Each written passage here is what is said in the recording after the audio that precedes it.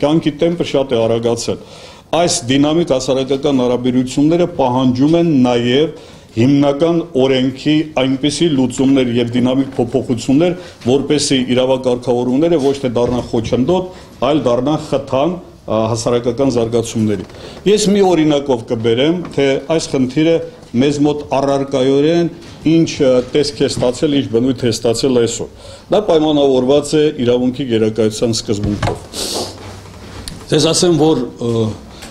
իմ խորին համոզմամբ Հայաստանի Հանրապետությունում մատների վրա հաշված մարդիկ կան, որոնք հստակ տարբերակում են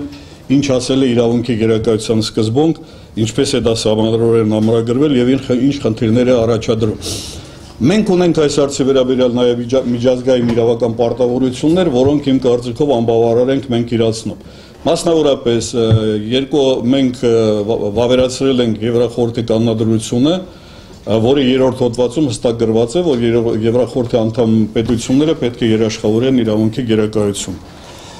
Մեր սահմանադրությունը 95 թվականի այս հարցում բավականին աղոտ նույնիսկ ոչ հստակ դիրքորոշում ուներ 2005 թվականին փոփոխություն կատարվեց մցվեց համանadrության կամ ամրագրվեց համադրության երրորդ հոդվածը այս երրորդ հոդվածը իր էությամբ Համադրության առաջին հոդվածը իրավական պետության գաղափարախոսության որոշակի մարմնացումներ համադրական մակարդակում ամրագրվեց, որ ըստեյության իրավունքները անոտարելի են, ճանաչվում է որպես բարձրագույն արժեք եւ նաեւ ճանաչվեց, որ այդ իրավունքները անմիջական գործող իրավունքներ են եւ պետությունը սահմանափակված այդ իրավունքներով որպես անմիջական գործող իրավունք։ Ցավոք սրտի այս ձևակերպումը մնաց զուտ կարգախոսի մակարդակում սահմանադրորեն դրա իրացումը չերաշխավորվեց,